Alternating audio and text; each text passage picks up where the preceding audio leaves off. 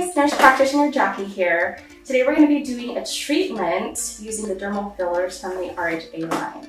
So there's RHA2, there's RHA3, but we are going to be using RHA4, which is the most robust of the line. I like to use RHA4 in any places where you would need bony support. For example, the lateral cheeks for that sculpt, the chin, or a chisel jawline, which is actually what we're gonna try to achieve with my handsome patient today.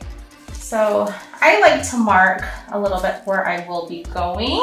So for jawline specifically, I like to dot the borders of the, of the jaw. I also like to make a little marking for little anatomical notch that I feel, like where the chin and the jawline meet. That's where the facial artery usually comes and branches out of, and I'd like to stay away from that. Okay.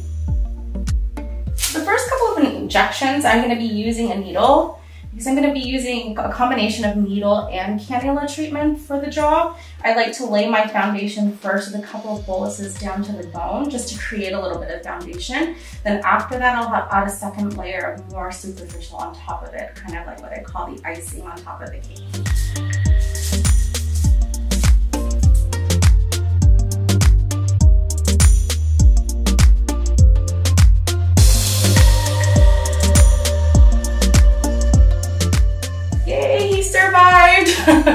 so we actually put a total of five syringes in the jawline, so two for each side, and we actually ended up putting a little bit in his chin as well, because personally I feel that the chin is one of the foundations of the face, and it really is connected to the jawline, and I feel that you have to sometimes treat both of them to really, really get that good effect. So you might have seen that I did inject a little bit more on his left side of the chin, but that's because he's actually a little bit smaller on that side. So we dedicated a little bit more filler to that side of his chin. And I told him, I said, that's completely normal. We all have those normal asymmetries. It's part of what makes it so unique.